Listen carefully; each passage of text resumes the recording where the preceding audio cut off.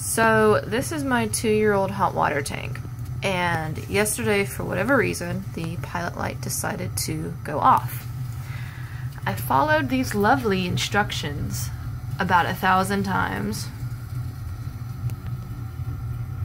where you turn this to off and you switch it to pilot press it down and then you hit this igniter button until that comes on well every time I hit the pilot and the igniter this little teeny tiny blue flame would come up but as soon as I tried to switch it to hot poof, it would go away.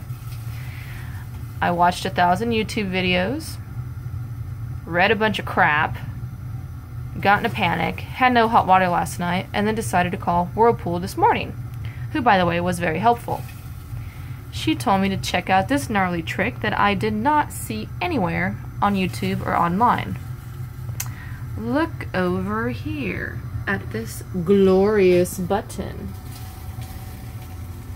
this little teeny tiny black button apparently basically resets the damn hot water tank. So I held that in for like five seconds,